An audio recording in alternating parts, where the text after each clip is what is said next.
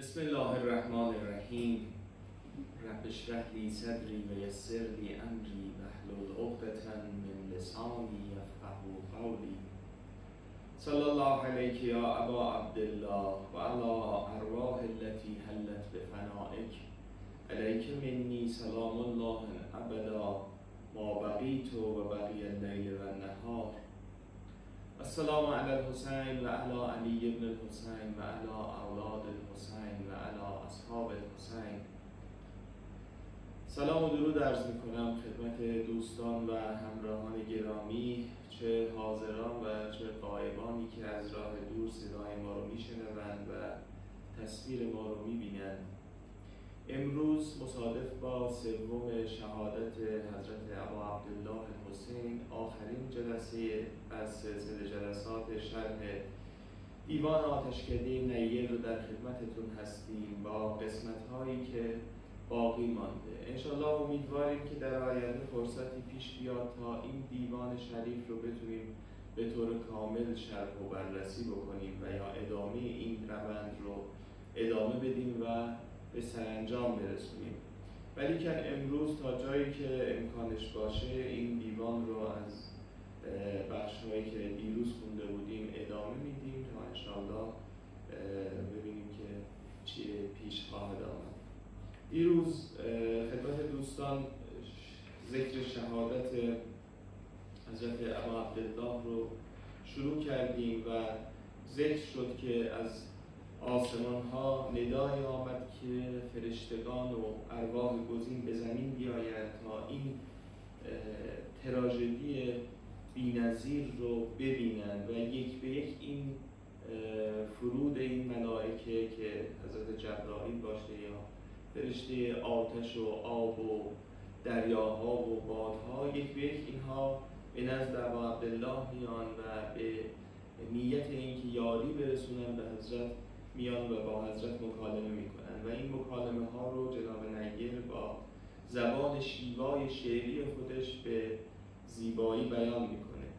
دیروز بخش آمدن حضرت جبرئیل به یاری امام حسین رو خوندیم و همچنین آمدن فرشته آتش به یاری امام.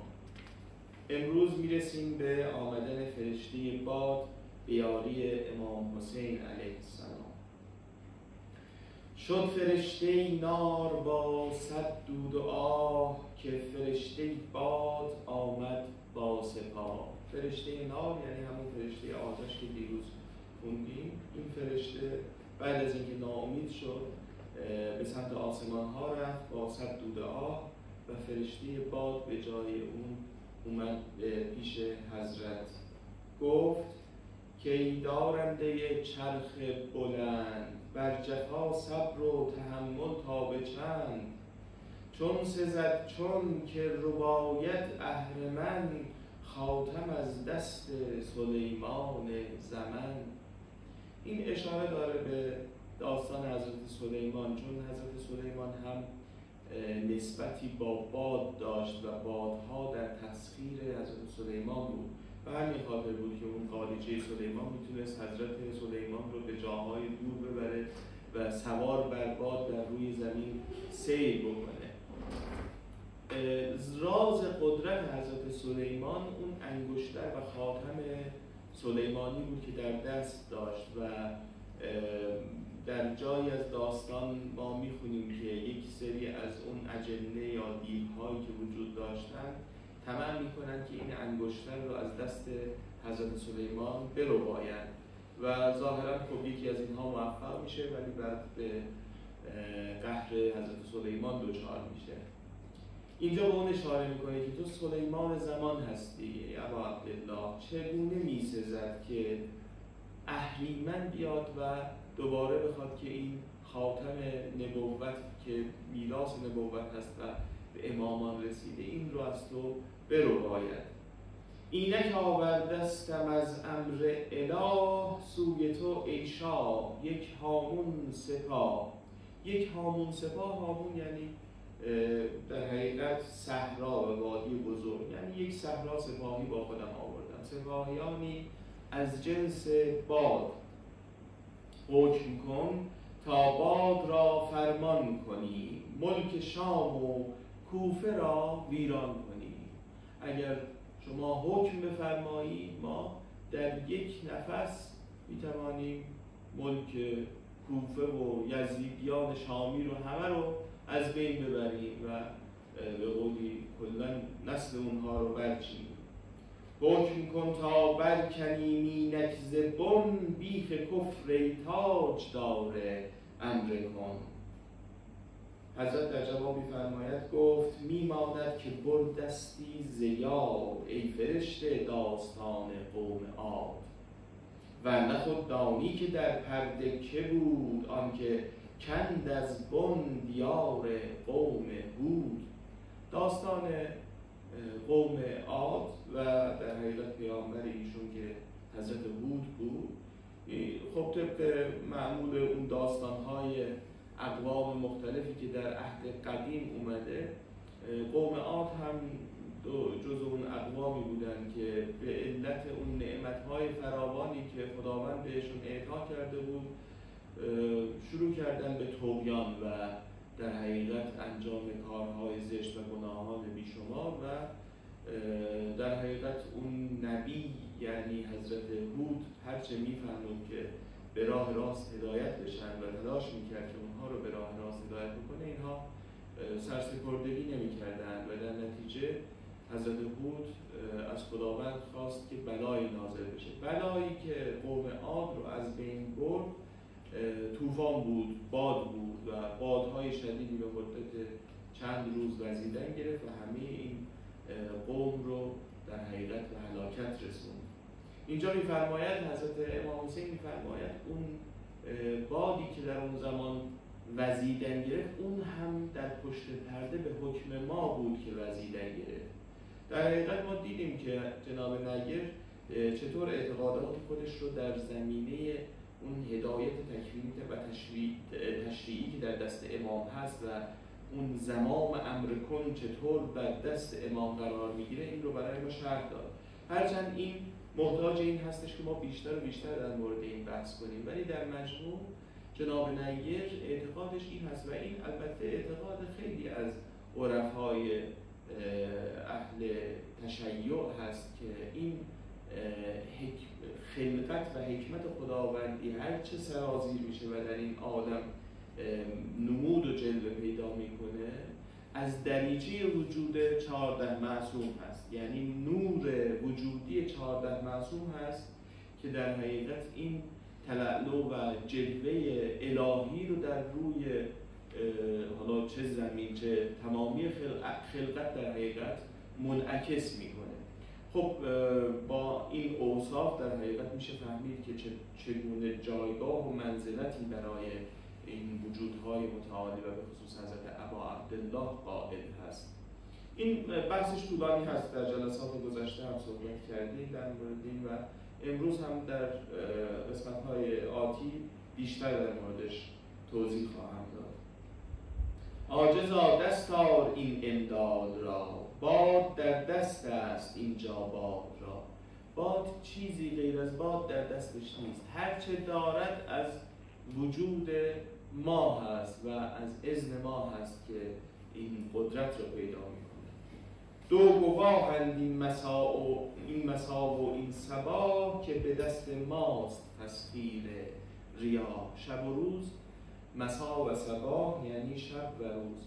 هر دو گواه هستند که تسخیر بادها در دست ما هست آن سلیمان کش مسخر گشت باد این در حقیقت این رو, این رو اینطور باید آن سلیمانی که او را مسخر شده بود باد در دستش نام ما در انگشتر در نقش انگشتر نهاد. راز این تسخیر ریاهش این بود که تنها فقط این نام ما رو در اون انگشتر خودش حک کرده بود.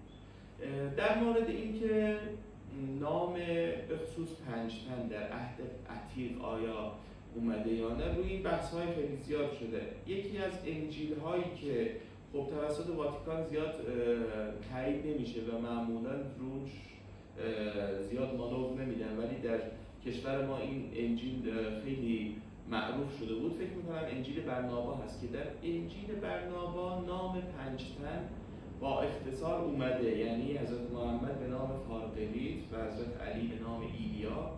و امام حسن و امام حسین به نام شبیر و شبر و حضرت فاطمه به نام فاطیما که خب ما در مورد اینکه این سندیت ها واقعا به چه اصری برمیگرده و در چه دوره های اینها واقعا معروف بودند این اسامی مقدسه و اینها اعتقاد داشتن که اینها اسم های مقدس هستند. و حتی در افسانه ها هستش که حضرت نوح وقتی کشتی خودش رو آماده کرد که برای اون طوفان و بلا آماده باشه این نام این پنجتن رو در روی کشتی در منطقه نصب کرد. یا فرض کنید در زمان حضرت موسی که حضرت موسی دستش رو در جبین می‌گرفت و می آورد بیرون و دستش میدرخشید این درخشش به خاطر اون پنج انگشت هر کدوم به نام یکی از این پنج تن به قولی نامیده شده بود.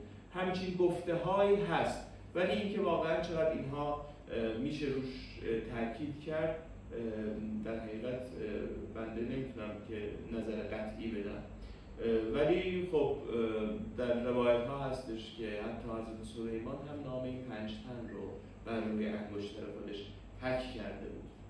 خب این بخش آمدن فرشته باد به اتمام می‌رسه اینجا و می‌رسیم به بخش بعدی یعنی آمدن فرشته آب. به یاری امام حسین. شد فرشته باد بر مرکز نوان که فرشته آب شد سویش روان. نوان یعنی حرکت کنان و فرشته باد به سمت مرکز یا به سمت علایلی برگشت و فرشته آب به سوی حضرت امام حسین شتاف گفت کی در بحر موسا را دلی سوی تو آورده ام صد رود نیل. ای کسی که دلیل و راهنمای حضرت موسی بودی در زمانی که این بحر شکافته شد و حضرت موسی جرأت کرد تا از میان این بحر عبور بکنه. در حقیقت این اشاره به اون معجزه حضرت موسی داره که وقتی فرعونیان ایشون رو تعقیم می‌کردن و بنی اسرائیل رو تعقیم می‌کردن اذنی اومد از طرف خداوند که با زدن عصا تو می‌تونی راهی در بحر یا اون دریا باز کنی و قوم خودت رو از میان این دریا به سلامت عبور بدی به همین موضوع اشاره می‌کنه و میگه که تو یعنی امام حسین علیه السلام بود که در حقیقت راهنمای موسی در این امر معجزه آسا بود. هین فروران سیلها در غرب و شرق یکسر این فرعونیان را ساز غرب. روشن هست. و حضرت تقاضا می‌کنه از حضرت که یک سیلی در حقیقت در غرب و شرق روانه سازیم تا این فرعونیان همه غرق بشن. کنز بنیادین سواد محترم چون سبا برکنده از سیل ارم. این هم داستان قوم سبا هست که در منطقه یمن زندگی می‌کردن و صدهایی ساخته بودن با قیر و سنگ و یک سری مسالت و خیلی مستحکم بود. ولی اینها نافرمانی خداوند کردند و وقتی پیامبرشون به نزد خدا شکایت کرد یک موشهایی اومدن این پی و بن این صد رو از بین بردن و یواش یواش این صد سست شد و ناگهان سیلی اومد و همه این تمدن رو از بین برد. حکم کن ای نوح تا سازم غریق. جمله در غرقاب طوفان این فریق. فریق یعنی فرقه این گروه. حکم بکن که من مانند ای نوح من مانند زمان نوح یک طوفانی به پا سازم تا این گروه رو غرق بکنه و از بین ببره. آب را بر قبطیان میساز خون ای تو موسا را به وادی رهنمون. این هم معجزه دیگر از موسی هست. که رود نیل رو به خون بدل کرده بود و قبطیان وقتی یعنی اصحاب فرعون وقتی می‌خواستن آب بخورن خون بود ولی سبتیان هر وقت این آب رو برمی داشتن بخورن به آب معمولی تبدیل می‌شد. اینجا هم باز به اون اشاره می‌کنه و بعد عبدالله که این کار رو تو هم دوباره انجام بده. حضرت در جواب میگه گفت که ای افرشته فرخنده عذر پیش آور که بردی آب خیش تو روی خودت رو بردی. قدرت الله نیست محتاج مدد. رو فرو خان قل هو الله احد. من قدرت الله هستم. برای اینکه درک کنی باید قل هو الله احد و سوره توحید رو با درک عمیقتری بخونی. هفت دریا را مکان از مشت ماست. آبها را منبع از انگشت ماست. آب کو بود حاصل عرش مجید. ای فرشته خود ز ما آمد پدید. این هم به اون آیه قرآن اشاره داره که و کام عرشه علی ما عرش خداوند بر روی آب بود. میگه این آبی که عرش خداوند بر اون قرار داشت از وجود ما به وجود اومده بود. من نمودم شب به موسا نیل را وارهاندم از وی اسرائیل را. خواهم این خاکدان کردن خراب می‌کشم از جنبشی یک سر در آب. امر ما را بسته توق انقیاد است و آب و آتش خاک و باد. است و آب و آتش خاک و باد اشاره به چهار عنصری داره که قدما فکر می‌کردن همه خلقت از این چهار عنصر به وجود اومدن و اینجا میفرماید که این چهار عنصر در انقیاد کامل در طاعت کامل نسبت به امر ولی الهی یا اولیاء الهی یعنی امامان هستند. ای فرشته ای فرشته آب راه خیش گیر. ره که از آنجا آمدستی پیش گیر. آتشم ترسم زتاب التهاب. آبهایت را کند یک سر سراب. برگرد و میترسم که این آبهای تو از آتش التهاب عشقی که در وجود من هست به سراب تبدیل شود. آمدن فرشته زمین به یاری امام حسین. شد فرشته آب و پیش آمد غمین خاک بیزان بر سر فرشته زمین. خاک بیزان یعنی خاک ریزان در حقیقت.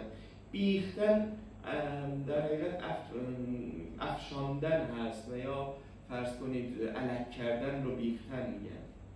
گفت که ای نازان به تو جانهای پاک ای تو مقصود از مزاج آب و خاک. مقصود از امتزاج آب و خاک و وجود این خلقت در حقیقت وجود مقدس عبا الله هست. باد از فیض دمت در احتزاز آتش از تاب غمت در سوز و ساز. ده اجازت تازه خصف این گروه افکرم زلزال در صحرا و کوه. خصف به معنی در حقیقت فرو بردن. همون معجزه ای که نسبت به قارون توسط حضرت موسی اتفاق افتاد. در زمان حضرت موسی نماد این ثروت و زر شخصی به نام قارون بود که ثروت فراوانی داشت و با درخواست حضرت موسی و با معجزه حضرت موسی زمین باز شد و قارون و تمام ثروتش رو بلعید. اینجا اون اشاره می‌کنه که اگر اجازه بدی فرشته زمین به حضرت میگه اگر اجازه بدی من هم این قوم رو با زلزله زمین در هم باز می‌کنه و این قوم رو به درون می‌کشه. یا چو قوم لوط سازن سرنگون نک زمین بر این سیه بختان دون. گفت شه آوخ که با خود نیستی باز کن چشم و ببین با کیستی. می ندانی که ز امر کاف و نون خاک را من دادم طبع سکون. این که در قرآن اومده و جعله و جعل لکم الارض قرارا در جاهای مختلف اومده که زمین زمین رو برای شما در حالت یک قرار و سکونی قرار دادیم خب این هم واقعا یک مسئله هست. الان با این پیشرفت علم نجوم و با این رصدهایی که در عالم انجام میدن قبلا خب پیش بینی می‌شد که ابتداعا که نمی‌دونستن ساختار آسمان این گونه است و کهکشان ها و منظومه ها وجود داره. و می‌گفتن یک زمینی هست و باقی آسمان. بعد فهمیدن خب زمین سیاره به دور خورشید هست و امکان داره خورشیدهای زیادی باشه. و زمین ها مشابه زمین سیارات زیادی باشه. و پیش بینی می‌کردن که این شرایط در جاهای خیلی زیادی ما بتونیم پیدا بکنیم که حیات روش جریان داره. ولی خب این بررسی ها و کندوکاف ها فعلا به نتیجه نرسیده. یعنی همچین شرایط ایدئالی که در روی زمین وجود داره و حیات به این نحو به حد پیچیده خودش رسیده فعلا در یافته های دانشمندان با وجود این همه ستاره میلیاردها میلیارد ستاره که در کهکشان های مختلف هست و در کهکشان و با وجود میلیاردها میلیارد سیاره که به دور این ستاره ها میچرخن ولی فعلا اون حالت قرار و اون حالت ایدئال که باعث بشه کره ای منزلگاه یک حیات دیگری بشه خب خیلی ظاهرا سخت هست و واقعا همین حالت ایدئالی که در زمین وجود داره خیلی حالت ناب و عجیبی هست که چه از لحاظ دمایی چه از لحاظ وجود به وجود آمدن شب و روز چه به لحاظ آبی که در روی زمین وجود داره. همه اینها باعث شده که این حیات در روی کره زمین به وجود بیاد و به حد اعلای خودش و پیچیدگی خاص خودش برسه. به هر حال اینجا اشاره می‌کنه که این قرار و سکونی که در زمین هست و این نه اینکه سکون در حقیقت اون قرار و حالتی که زمین داره و باعث میشه که حیات درش باشه این هم به امر وجودی علمی کرام بوده.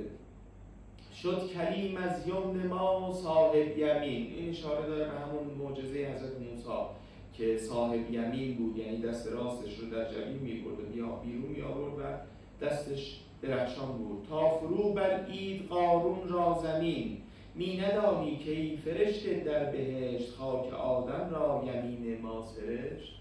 این خاک آدم هم در بهشت توسط دست ما به هم سرشته شد و خلقت آدم در حقیقت به ازن ما شروع شد.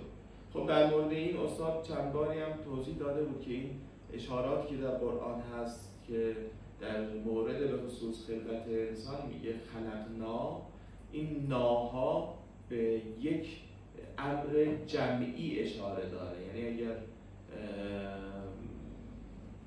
فقط خدا بود می‌گفت خلق تو ظاهرا یک مجموعه عواملی هست در خلقت انسان و به خاطر همین هستش که خداوند در قرآن میفرماید خلق نا ما آفریده و این ما در حقیقت می‌گفتن که شاید اشاره داشته باشه به وجود این نورهای برجسته ای که در بعد به خلقت توسط خداوند خلق شدن یعنی نور امامان و پیامبر صلوات می ندانی که فرشته در بهشت خاک آدم را یمین ما سرشت ما سرشتیم این جسوم از خاک آب.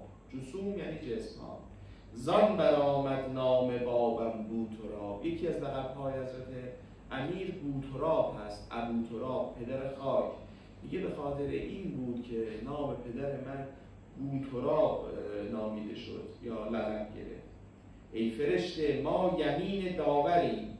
ما دست خداوند هستیم ید الله هستیم. ما کجا محتاج اون و یاوریم؟ ما نیازمند یار و یاور نیستیم. من به اندا خود در این دریا زدم. پای بر دنیا و مافیها زدم. رو به تا آب او خاکم برد. پاک سوی عالم پاکم برد. اینجا رو به تا آب او خاکم برد. آب معنای الهی آب الوهیت آب حیات الهی آب عشق یا بگیم این رو. بگذارین آب خاک من را ببرد. این امتزاجی که در وجود من هست از خاک و آب انسان رو اینجور تصمیم می‌کردن می‌گفتن بخش خاکی و زمینی و بخش آبی و آسمانی در این بخش و تن خاکی من رو ببرد و بخش آسمانی روحانی من پاک به سوی عالم پاک برود. آمدن فرشته ابر به یاری امام حسین علیه السلام. شد فرشته ارز سوی آسمان که فرشته ابر باز آمد دمان. این بار فرشته ابر میاد. در حال دمیدن. گفت که ای باران رحمت را تو ابر تو ابری هستی که باران رحمت از اون در شگفتی مانده از صبر تو صبر. این جفاها را تحمل تا به کی ای یمین قدرت دادار حی. تو دست قدرت دادار یعنی خداوند خداوند حی هستی. تا به کی می‌خواهی؟ این جفاهای این قوم رو تحمل بکنی. حکم فرما تازه ابر زلف تو. این برانگیزم زنو طوفان نو. حکم بکن تا دوباره طوفان نوحی در اینجا به وجود بیارد زلفتو یعنی صاحب فتح. یا ز سیهی رعدهای هولناک زهره این قوم سازم چاک چاک. خب ابر هست دیگه این می‌تونه ساعده بزنه. میگه امر کن تا با ساعده های هولناک اینها رو از ترس زهره ترک بکنم. یا به در جنبش آرم برق را. تاک سوزم خرمن خرمن اهل زرق اهل زرق یعنی اهل ریا. با آتش ساعده اینها رو از بین ببرم و بسوزانم. یا ببارم. سنگ ها زین منجنیق چون جنود ابرهه بر این فریق جنود ابرهه خب اشاره به داستان ابرهه و عزم اون برای تخریب مکه داره که اون پرنده ها اومدن و سنگ ها رو بستن و گرفتن. اینجا میگه که من می‌تونم از ابر سنگ ببارانم و این قوم رو از بین ببرم گفت شه ای طایر فرخ ای طایر فرخ سیر بله باید اینجوری گفت شه ای تایر فرخ سیر با سلامت کن از این صحرا گذر.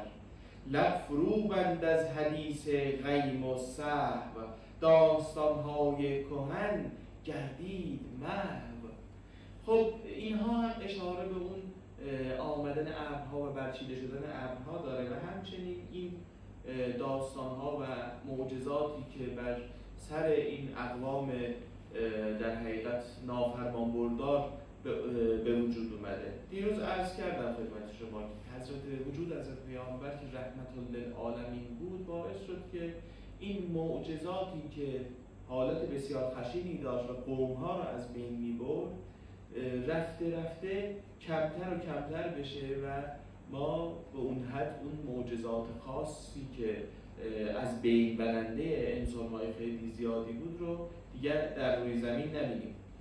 خب این چرا اینطور شده؟ اولا خب احتمالا وضعیت اقلیمی زمین همین مقدار تغییر کرده دیگه. شاید در گذشته این اقلیم زمین خیلی سختگیرتر بوده شما می‌تونید در دورهای مختلف زمین شناسی ما عصر یخبندان داریم عصرهایی داریم که طوفان‌های خیلی شدیدی در روی زمین وجود داشته. و الان هم که الان هست در خود آمریکا بعضا طوفان‌هایی میاد که این گردبادهایی که به قولی می‌تونه خیلی حالت تخریبی خیلی زیادی داشته باشه. پس این بلایای طبیعی اولا خودشون در حال تغییر هست در این زمین ولی از بعد الهی اگه بخوایم نگاه بکنیم خب این انسان در یک مسیری یواش یواش قرار گرفته که اون سرکشیش و توبیانش به اون حد نامتعارف دیگه نیست. یعنی در دورانهای کهن باستان این سرکشی در انسان حالت بی حد و مرز داشت. خب انسان مانند یک حیوان هست. حالا حیوان چرا نمی‌تونه زیاد سرکشی بکنه؟ چون عقل نداره. انسان با عقلی که داره طبیعت رو به تسخیر در میاره.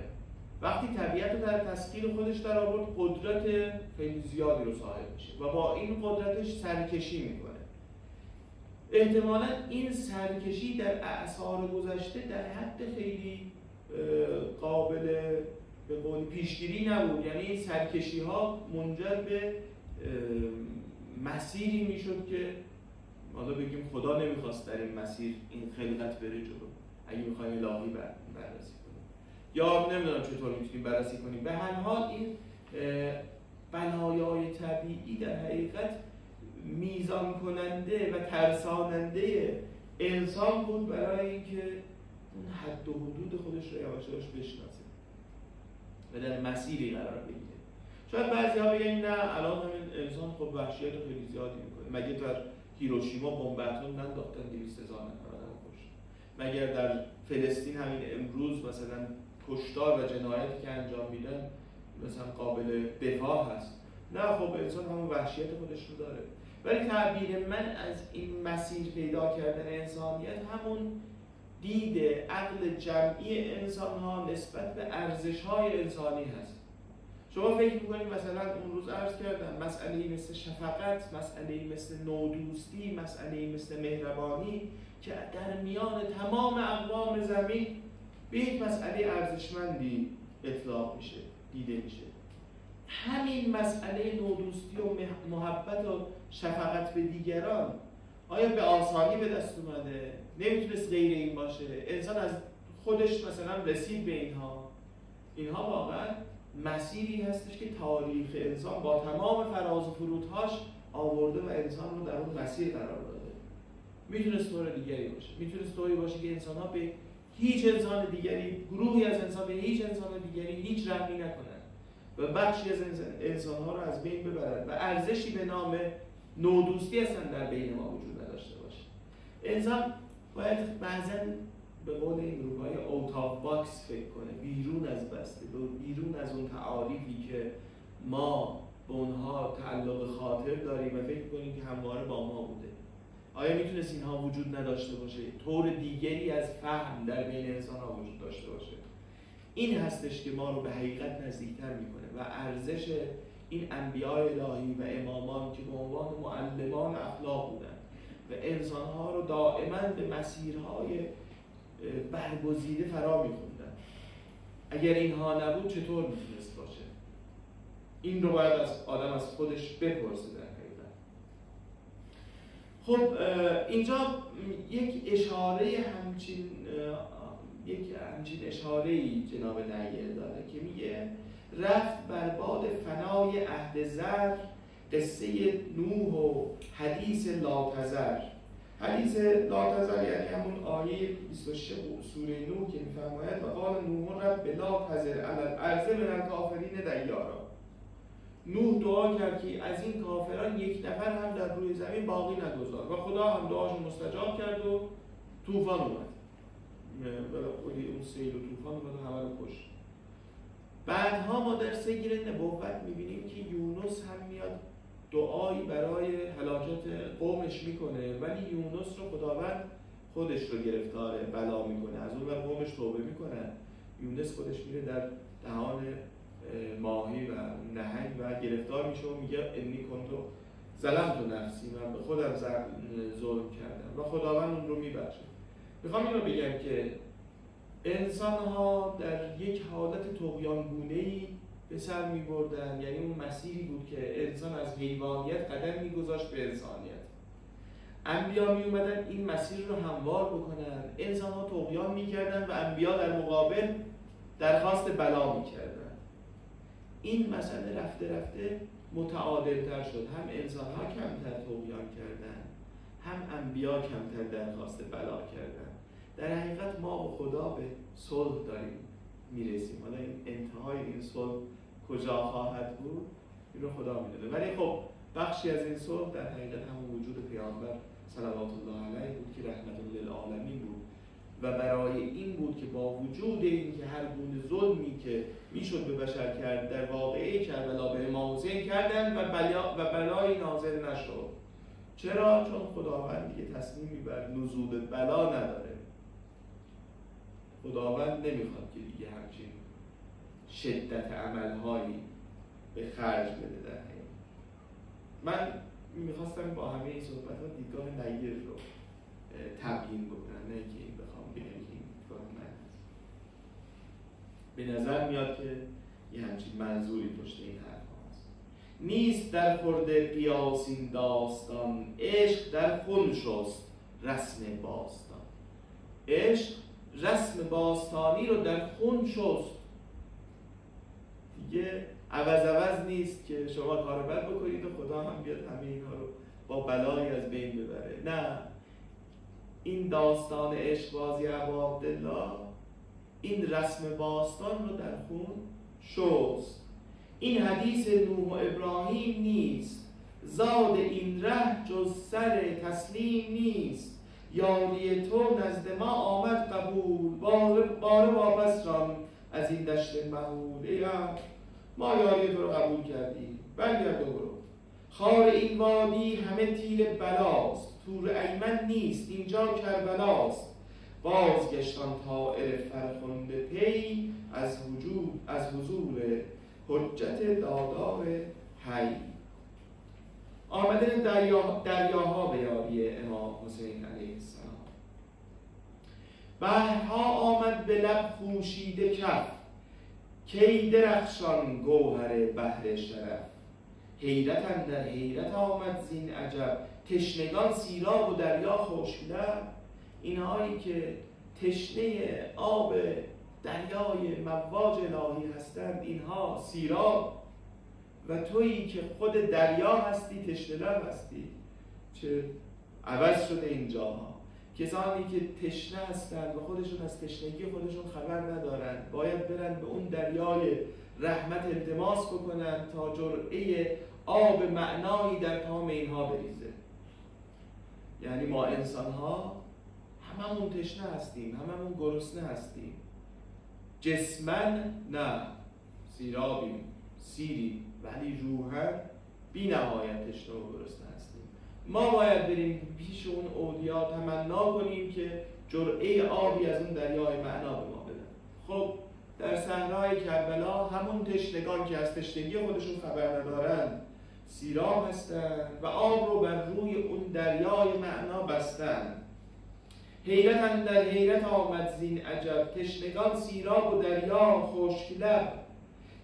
ما بحرها در جزر و مد جمله از جوی تو می جوید مدد این دریاها در زمانی که و مد می کنند در طلب آب حیات از جوی وجود تو هستند. هین بنوش از ما که از جوی توییم تشنه این لعل دلجوی توییم. یعنی ما تشنه کام تو هستیم. این کامی که اگر گشاده بشه رحمت از اون سرازیر میشه. بیلبت ما را جگر صد چاک باد. اینها رو دریاها دارن میگن. یا بله یا آمده دریاها حضرت. بیلبت ما را جگر صد چاک باد. آبها را بی تو بر سر خاک باد.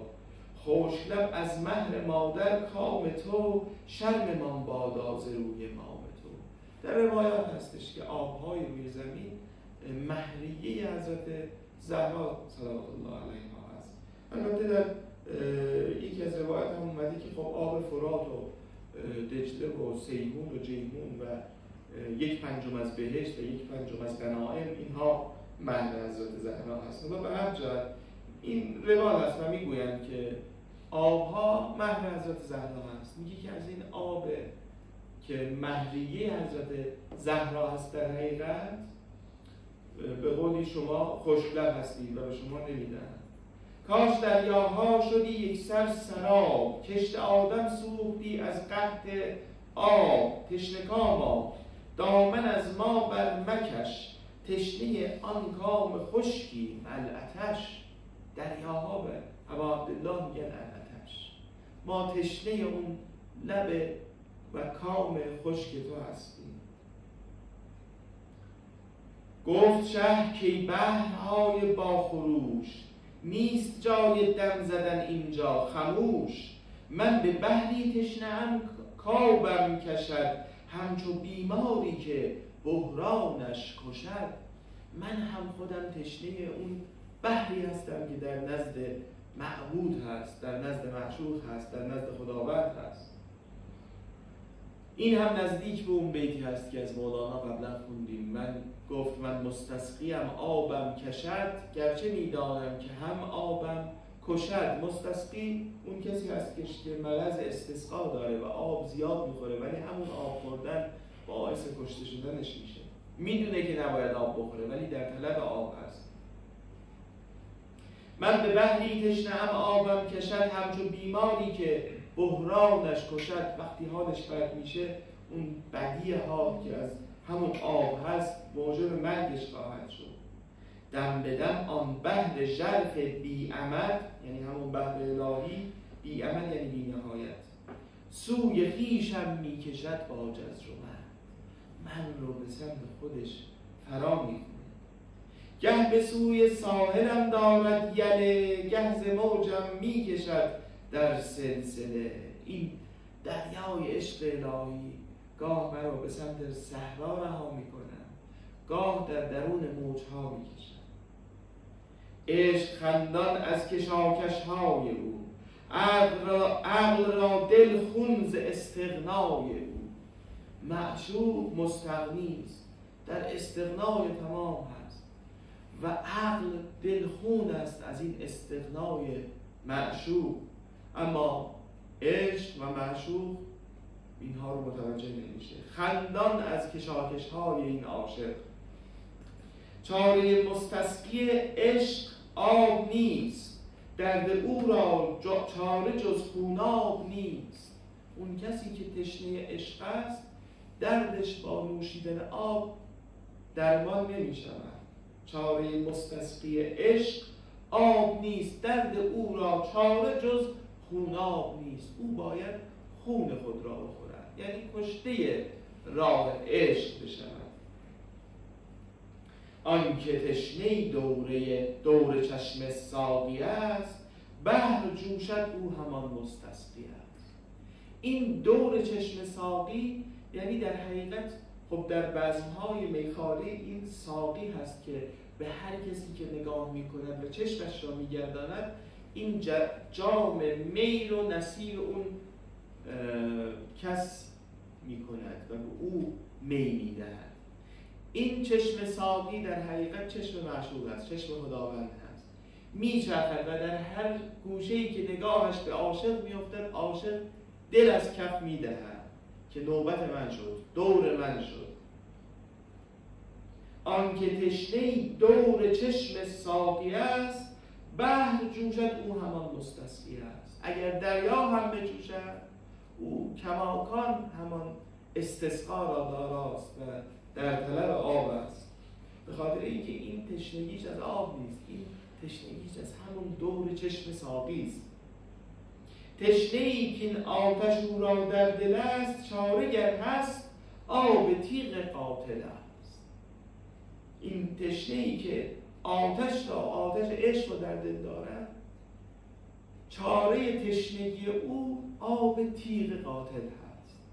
این اشاره به اون آب دادن تیغ هم دارد که تیغ رو وقتی حرارت می‌دادن و در درون آب قرار می‌دادن این سختیش زیاد می‌شد و برندگیش هم افزایش پیدا می‌کرد.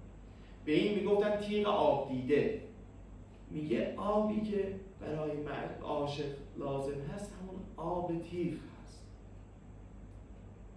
قاتل آزودا که بس تشنه ام در صبوری زاب تیغ و دشنم قاتل آزودا که روزم شام شد. جان ملول از تنگنای دام شد. قاتل آزودا که بس تأخیر شد. وعده دیدار جانان دیر شد. قاتلا هین تیزتر کن خنجرم. ترسمش که دیر برد. قاتلا ایمن نیم من از بدا. زودتر می کن سرم از تن جدا. پس روید ای بهرها زین زه گذر. من ندارم مرهم این مرهم این زخم جگر. نه زمین منت پذیرم نه از فلک. نه از زمین منت میپذیرم نه از زخمم از جای دگر دارد نمک.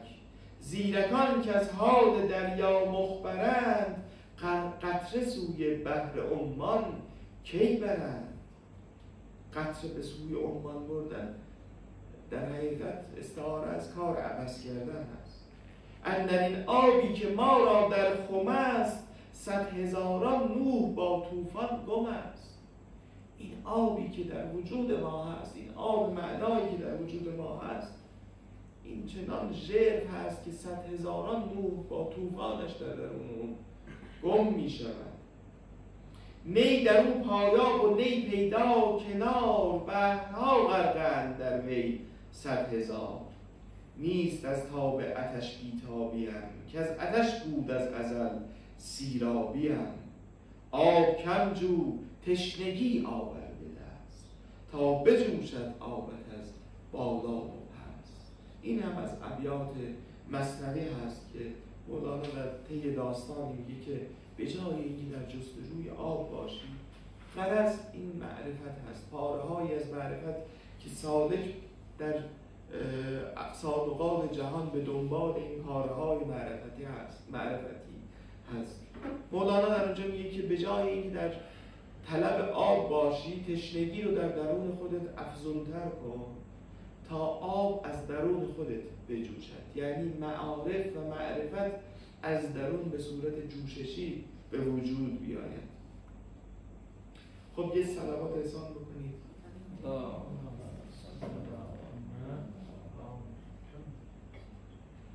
این بخش های مربوط فرشتگان یه مقدار مسائل خیلی زیادی رو در هم تنیده داره. نیاز به توضیح زیادی داره. دو قسمت موند ها رو هم می‌کنیم که انشاءالله به بخش جنگ امام حسین برسیم.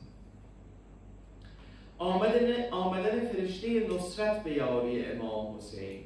پس فرشته نصرت از امر قدیر شد فرو از ذروه بالا به زیر. فرشته یاری و نصرت میاد به کمک حضرت عبا پیدا.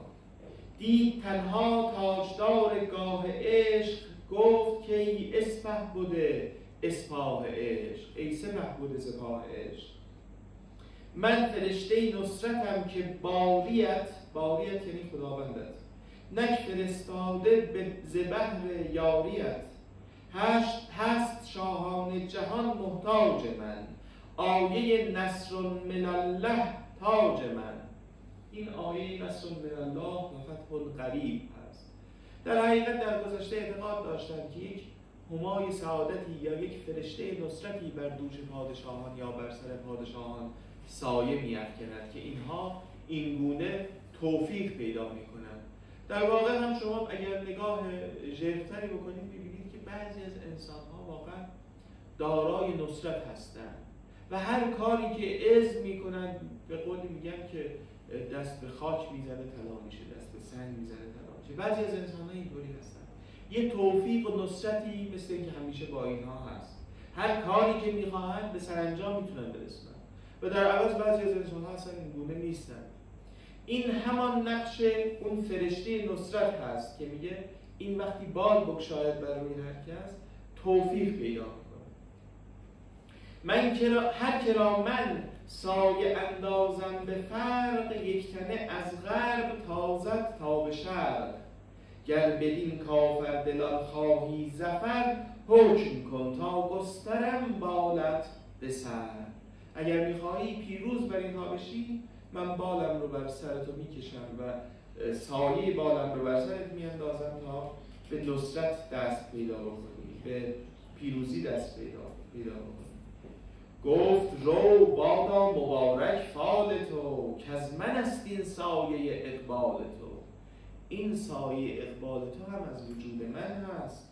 آیه نصر من الله نک منم پرز افرشته است یک سر جوشنم. این زره من پر از فرشته است. گر نبودی سایه من بر سرت سوختی برق تجلی شهپرت.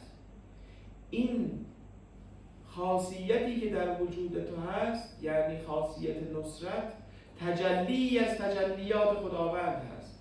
اگر خداوند بی واسطه وجود ائمه و اولیا بر سر تو تجلی می‌کرد تمام وجود تو رو تجلی الهی میسوزاند.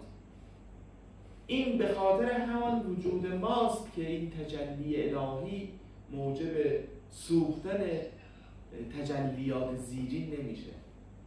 ببینید این مراحلی که در عالم وجود داره نیازمند همین تجلیگاه ها هست. یعنی اگر خداوند مستقیما تجلیش در روی زمین وجود داشت هیچ چیزی از زمین باقی نمیمون همین واسطه ها نیاز هست که این تجلی رو رتبه به رتبه پایین در بیاره و در حد زمین و زمینیان برسونه.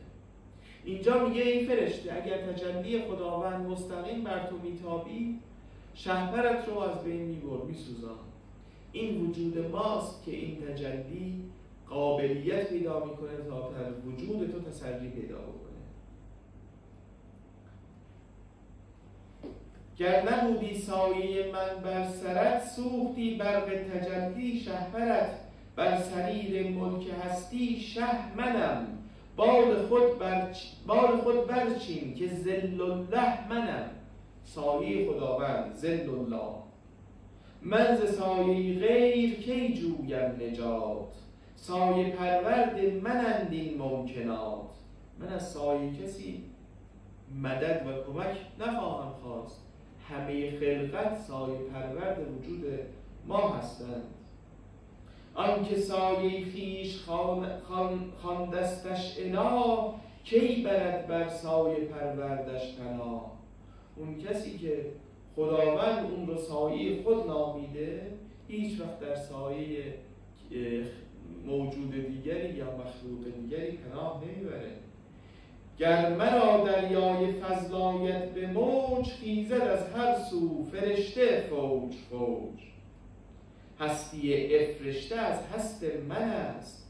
دست مبسوط خدا دست من است. لیس ید الله مغلوله. دست خداوند بسته نیست. دست خداوند همیشه مبسوط است باز هست. آن دست مبسوط خداوند وجود ما هست. آن که شد افرشت خود از وی پدید بر سنیع خیش کی بندد امید؟ این فرشتگان همه مصنوع وجود ما هستند. کی میسزد که ما به زیر باد فرشته بریم یا از فرشته مدد بخواهیم من به اون من به اون و نصرت حق واثقم. من می‌دانم که هرچه نصرت و یاری هست از خداوند هست. آنها واثقم لیک خود من این بلا را عاشقم. در بلاها می‌برم لذات او. مات اویم مات اویم مات او. این هم از داستانهای مصنوی هست. داستانی که شیطان به پیش معاویه میره تا معاویه رو برای نماز بیدار کنه. معاویه بلند میشه میگه که توی که شیطان هستی چطور اومدی من رو برای نماز صبح بیدار کنی؟ خلاصه این درگیری بین معاویه و شیطان بیشتر میشه. معاویه این شیطان رو در تنگنا قرار میده و که بگو بگو ببینن که سر این قضیه چیست. آخر شیطان به زبان میاد و میگه تو فکر می‌کنی که من دشمن خداوندم. من عاشق خداوند هستم. من از اول هم عاشق او بودم. اصلا دلیل اینکه من در آدم سجده نکردم این عشق من بود به سمت خداوند. غیرت هم اجازه نمی‌داد که به غیر از معشوق بر موجود دیگه سجده بکنم این غیرت باعث شد که من در بلا بیفتم. اما این بلای خداوند هم برای من دلانگیز و دلخوشم بر این بلا. چرا؟ چون از طرف معشوق هست. من سالها عبادت این معشوق رو کرده بودم. نمی‌تونستم این غیرت من اجازه نمی‌داد که برم به آدم سجده کنم. معشوق ازم رو بکنم و به آدم سجده کنم. هرچند که خداوند مرا در این بلا انداخت در این بلا هم سرخوش هستم. آن یکی بازی که بود من باختم. یک بازی خداوند به راه انداخته من اون بازی رو بازی کردم. آن یکی بازی که بود من باختم. باختم یعنی بازی کردم. خیشتن را در بلا انداختم. خودم رو در بلا انداختم. در بلا هم می‌کشم لذات او. مات اویم مات اویم مات او. من در بلا هم لذت این عشق رو می‌کشم و مات وجود خداوند. این دیدگاه هایی که عرفا نسبت به شیطان دارند هم خیلی عجیب است. شیطان رو هم میارن در و به صورت عاشقی در برابر خداوند جلوه می‌کنن وقتی انسان وقتی عارف به سمت وحدانیت حرکت می‌کنه به مرحله ای می‌رسه که در اونجا دیگه تکسر معنایی نداره.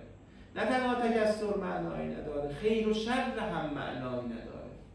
چه خیر و شری همه مگه از خدا نیست؟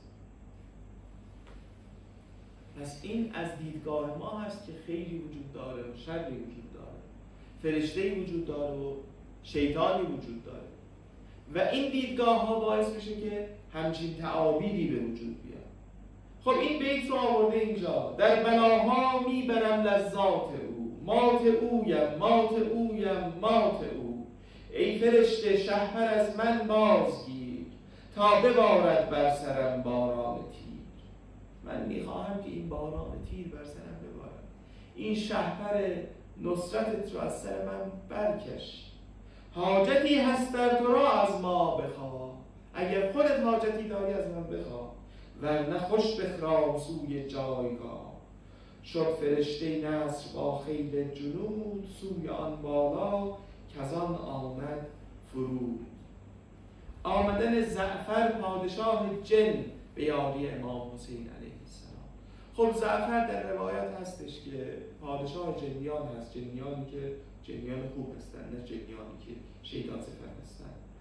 و خب ظاهرا حضرت علی در یک جنگی بر این جنیان پیروز شد و اونها رو مغلوب کرد.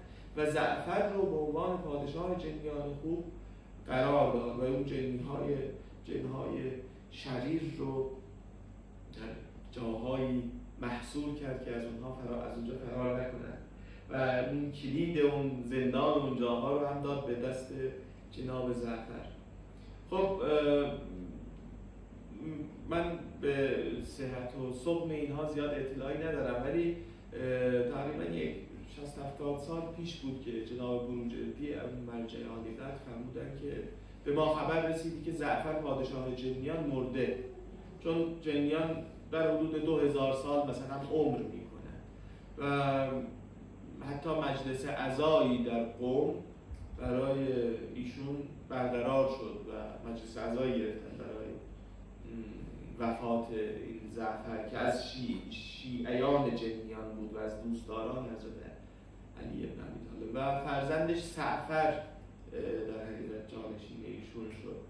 و خب یه مقدار این تغییر قدرت ظاهرا در اون رده های بالای قدرت های عجیب و غریب یه مقدار تزلزل به وجود آوردی و بعضی اعتقاد دارن که این دگرگونی هایی که در عالم معنا به وجود اومده و این کاستی هایی که در دریافت های معنوی انسان ها اکنون وجود داره. و حالات معنوی و اینها به خاطر این هستش که این تغییر قدرت شرایط خاص رو به وجود آورده. حالا بگذاریم از اینها. زعفر آمد با سپاه بی عدد از گروه جنیان بهر مدد. گفت شاها بهر یاری آمدم. نی که بهر حق گذاری آمدم. من برای حق گذاری آمدم. باب تو آن صاحب تاج قدیر بر گروه جنیان کردم امیر. او مرا بر گروه جنیان امیر کرد. این بفرما ای امیر غرب و شرق کین سیه کین سیه بختان به خون سازیم غرب. اینها رو همه رو کارشون رو یک سره بکنیم. هین بفرما ای شه در حشم تا کنم نو غزوه بعرالعلم. غزوه بعرالعلم یک داستانی داره در جنگ حدیبیه. چاههایی به نام ذات العلم در حقیقت وجود داشت. بعر ذات العلم که مسلمان تشنه بودن و نمی‌تونستن به اونها دست پیدا بکنن کفار نمیذاشتن و بعد از اینکه چند نفری رو پیامبر فرستاد و همه شهید شدن حضرت علی تونست که از اونجا آب بیاره برای مسلمانان. هین بفرما ای شه احمد شکوه. هین بفرما ای شه احمد شکوه تا فرو شویم بخون این دشت و کوه. هین بفرما تا نمایم زین فریق نافخ ناری در این دشت صحیق یک آتشی رو نفخ بکنم در این دشت صحیح و همه اینها رو بسوزونم. گفت هاشا رحمت رب غفور کی پسندد چیره بینا را به کور؟ رحمت خداوند قبول نمی‌کنه که کسی که نابینا هست چیره کسی که بینا هست چیره به نابینا بشه. یعنی در حقیقت اونها شما رو نمی‌بینن شما جنیان رو نمی‌بینن و شما جنیان اونها رو می‌بینن می‌بینید. شما اونها نسبت به شما کورن و شما به نسبت به اونها بینا هستید. گفت ما نیز ای خداوند صور.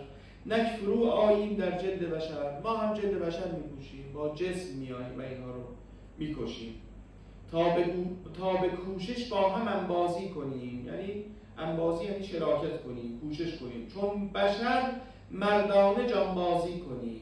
گفت من خود قدرت یزدانیم. حیدر بدر و احد را ثانیم من این به قولی خلیفه حضرت حیدر هستم که در حقیقت ثانی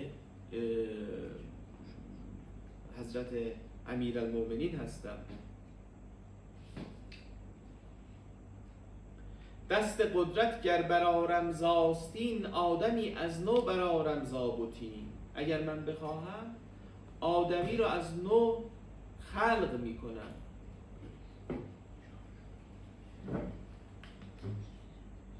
این بنای کهنه را فانی کنم ابتدای عالم ثانی کنم. این بنای جهان کهنه رو فانی می‌کنم از بین می‌برم و جهان جدیدی از نو علم می‌کنم. لیک عشقم کرده سیر از جان خیش زعفرا دیر است واپس ران ز پیش. اکنون ما از جان خودم سیر شدم. ای زعفر برو برو و مرا رها کن. بسته ای مهدی به جانان در است که به جز وی که به جز وی بگذرم از هرچه هست. آمده سر وعده سوگند من. زعفرا بگذر مشو پابند من. زعفرا من شاهباز ارشیم تنگ دل زین دامگاه من شاهباز عرش خداوند هستم. از این زمین دیگه تنگ دل شدم خسته شدم. نک سفیرم می‌زنند از آسمان بگذر افسون پری با من مخوان. افسون پری یعنی همون افسون جنیان که در گوش انسان هی میان و وسوسه می‌کنن. مسائلی رو به انسان تلقین می‌کنن و انسان احساس می‌کنه که این فکر خودش هست. معمولا کسانی که تحت تاثیر جنیان هستن باورشون این هستش که اینها افکار خودشون هست و در ذهن خودشون دارن به اینها فکر می‌کنن.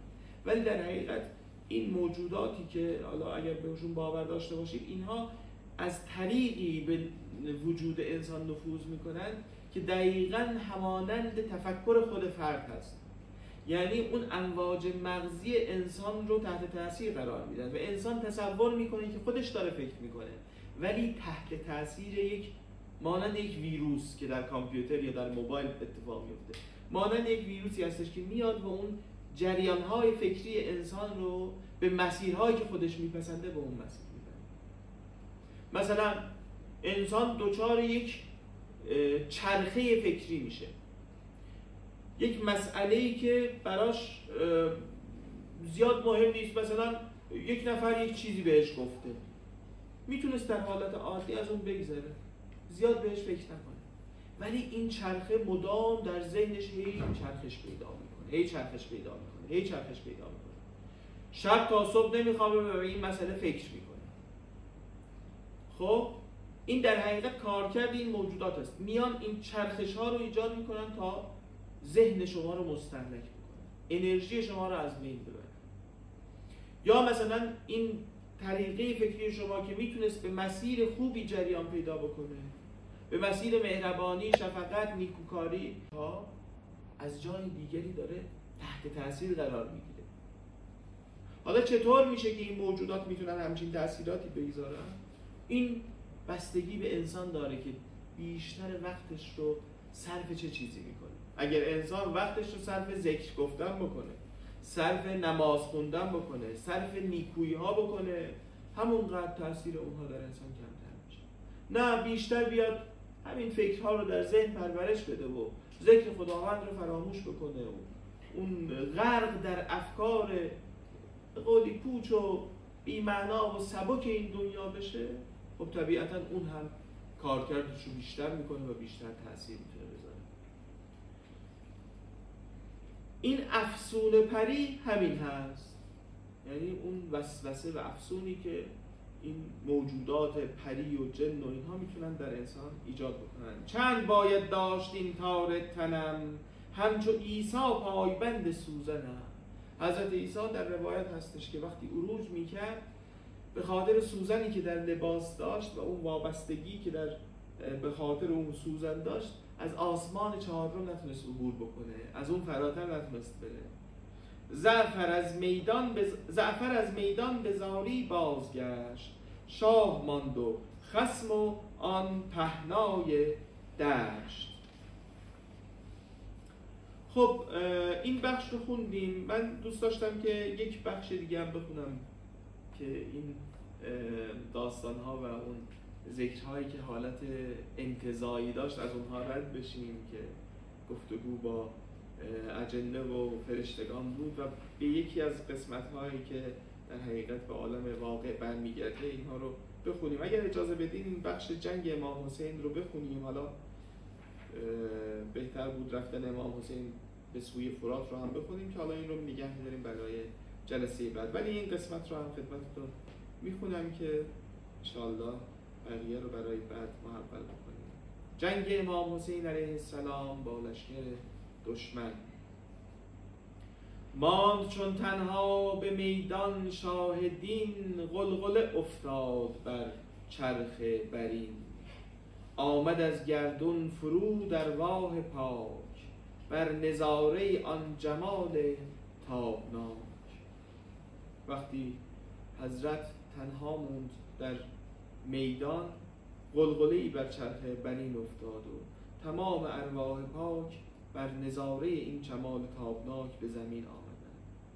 شد ممثل بر گروه مشرکین هیکل توحید رب العالمین این هیکل توحید رب العالمین در برابر دیدگان اینها تجسم پیدا کرد. قدسیان را شد مصور در خیال که مجسم گشته ذات زلجلال قدسیان هم تصور کردند که ذات زلجلال در روی زمین تجسم پیدا کرده.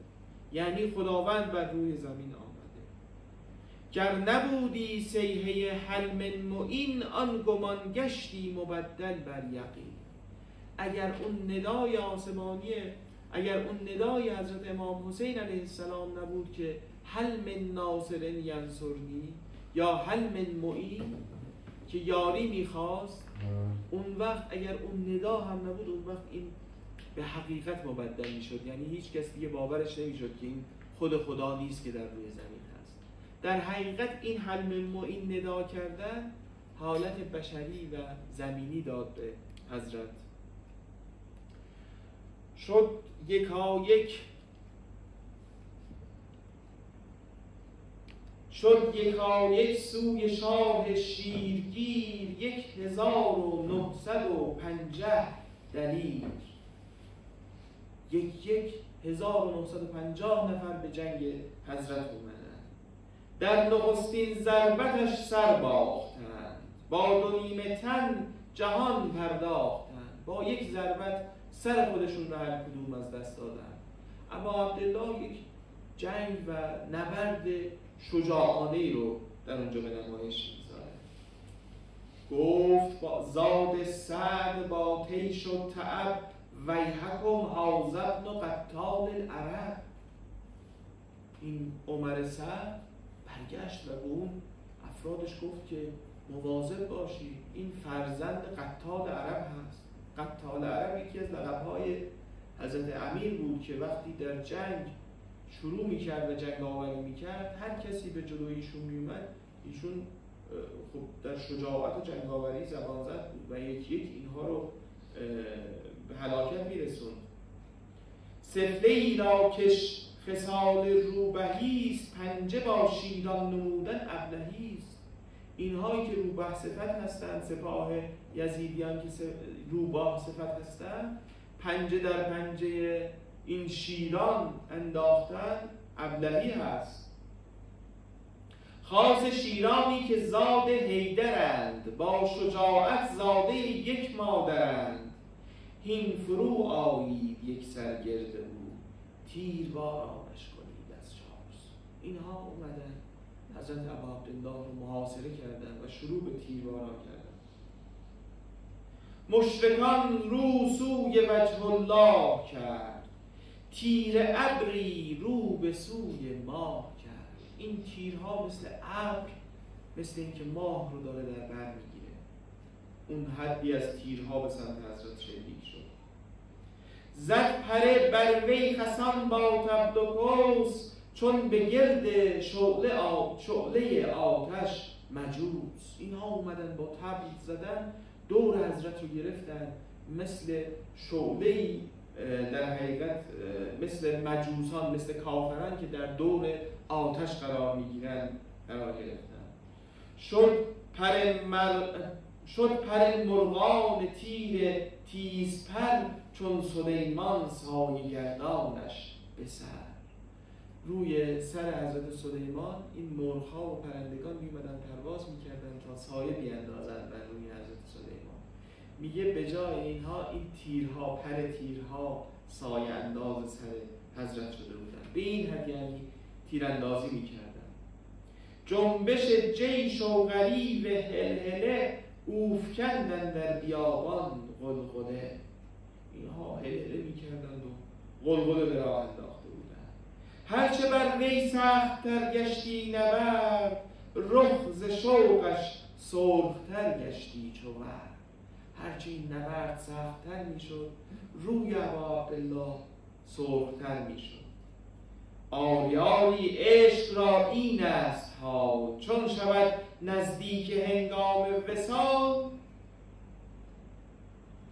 آریاری عشق را این است ها چون شود نزدیک هنگام وسال شیر حق با زلفقار هیدری برد حمله بر جنوب خیبری.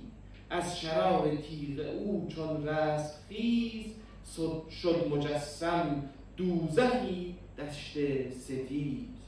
حضرت با جنگاوری تمام شروع کرد به به قولی حمله کردن به سمت اینها و میگه که اونجا مانند رستخیز و قیامت شد. مثل اینکه جهنم دهان باز کرده بود.